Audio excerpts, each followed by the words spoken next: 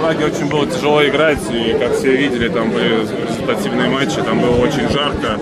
Форма намокала еще на раскатке, и уже было невозможно шайбу останавливать, поэтому такие большие результаты были. Каковы сейчас все-таки ваши главные впечатления, эмоции? Вот э, цель жизни на каком-то этапе достигнута, скажем так? Ой, ну, я, конечно, шел всю жизнь к этой мечте, да, мы выиграли, просто фантастика. В принципе, все.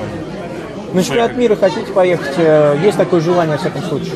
Или сейчас эмоции настолько Сейчас выплеснули? э, вообще э, голова не думает, просто буря эмоций, поэтому даже еще пока не думал об этом. Всё, спасибо всем. Все, Спасибо, Вася.